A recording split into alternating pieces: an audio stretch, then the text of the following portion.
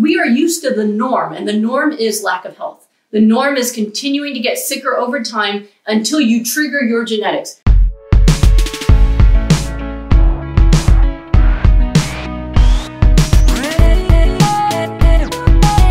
So somebody asked me a really good question today. He's about to start doing four weeks of rapid recovery with me because he has lupus nephritis and literally only 5% of his kidney is left. So his only option here is to go on dialysis and transplant or to try to see if he can get some of his kidney back.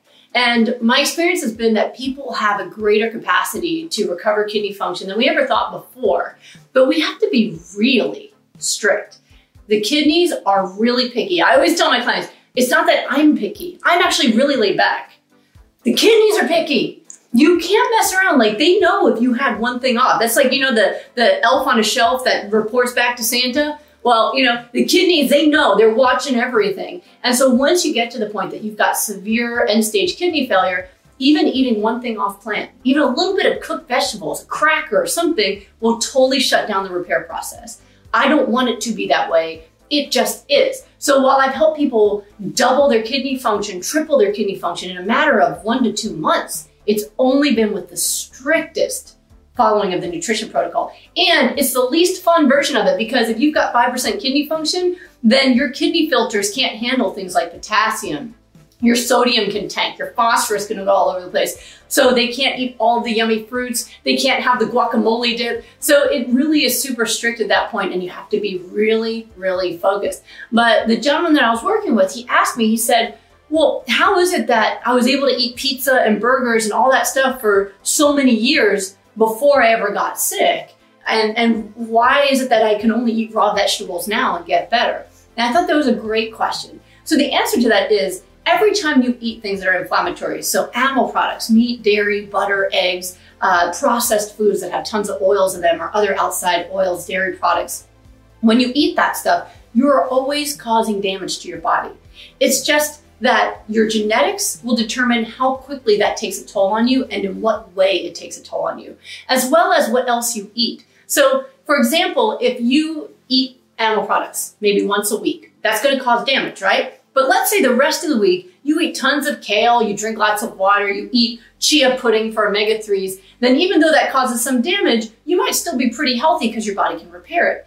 Most people don't do that though. Most people who are eating animal products and processed foods, that's most of what they eat. And then maybe they eat a little bit of salad or there's some lettuce on their burger. So it's damage, damage, damage, damage. And then you have to look at what the, gene the genes are to see what happens. So for example, the most common thing that kills people today are heart attacks.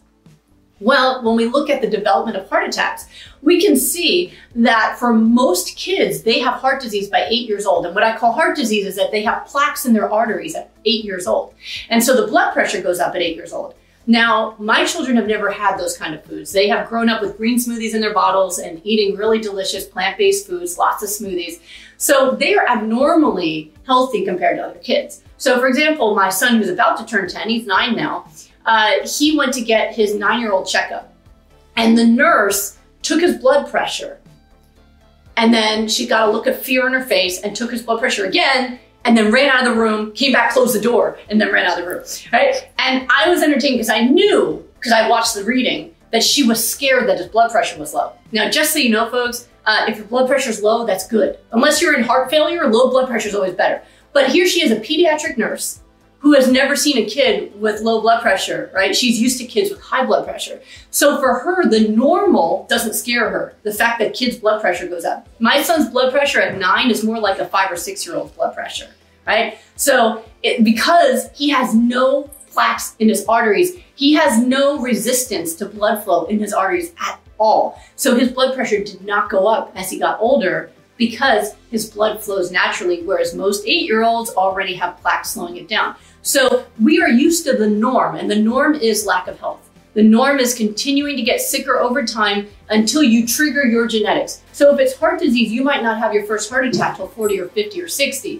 If it's autoimmune disease, you might be sick today. I met someone who has already got autoimmune disease at six. So it could be six, could be 16 like it was for me, and it could be 20s, right? So the best thing you can do is always make sure that you eat really healthy, healing foods so that you don't get sick. So if you're healthy and watching this, great. have a green smoothie every day that's got tons of greens, omega-3s from chia or flax, uh, just a little bit of fruit in there for flavor. Drink your water every day and keep the majority of what you eat coming from healthy foods. And then if you eat a little bit of processed foods or something like that, you'll be all right. But if you're already sick, you can't do that. Aggressive illnesses do not respond to moderation. Moderation will kill you. The, aggressive illnesses will only respond to aggressive nutrition, which means you have to stick to only eating the foods that will heal you. I hope that helps.